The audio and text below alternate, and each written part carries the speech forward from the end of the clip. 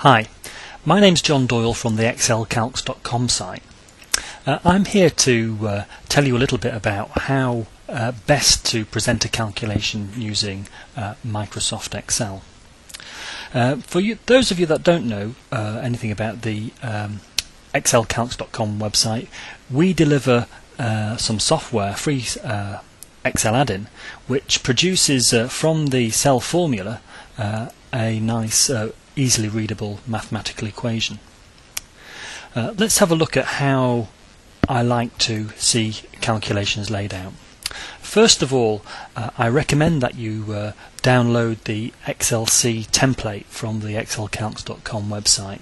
Uh, this arranges uh, a worksheet in a kind of grid format on the left hand side of the page and over on the right hand side of the page you see a kind of normal uh, Excel style display.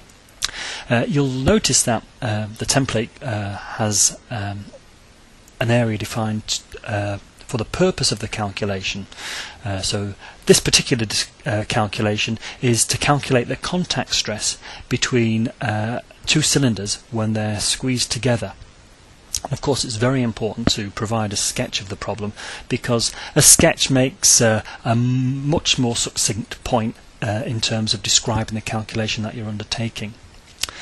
Um, here we can see how uh, I use this kind of grid format in this area. I've arranged all the uh, description of uh, calculation parameters uh, are, are, all arranged in the same column. So if I want to italicize them all, I can do that very quickly just by selecting that column uh, and uh, italicizing.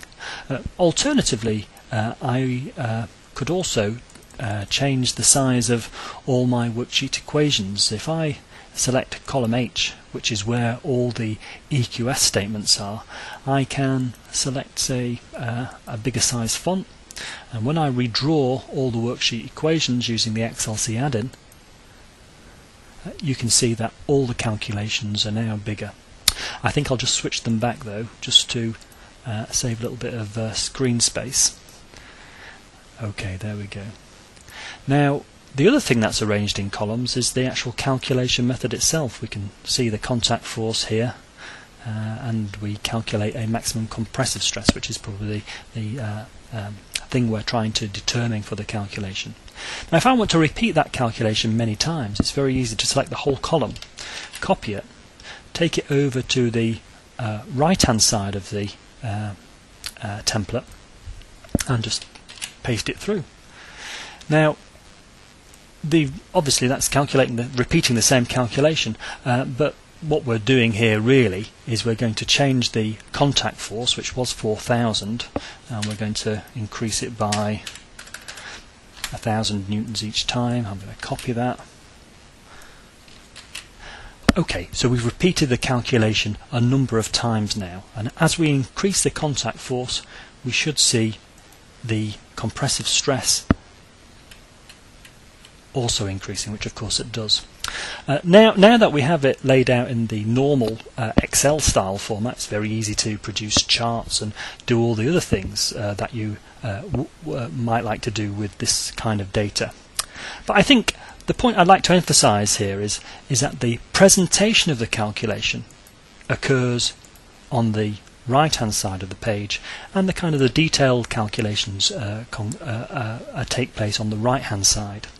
Uh, this is a, a very useful uh, way of setting out uh, your calculation. It's very easily readable uh, and it's very easy to uh, audit um, audit the calculation. There's also just a, a, couple of points here. The calculation is obviously very important.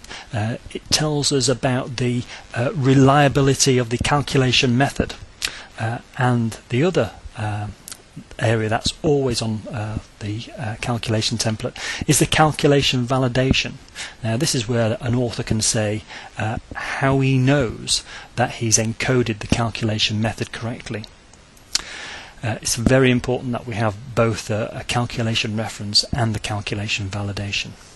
Okay, this concludes my uh, little presentation on how to lay out uh, calculations in Microsoft Excel.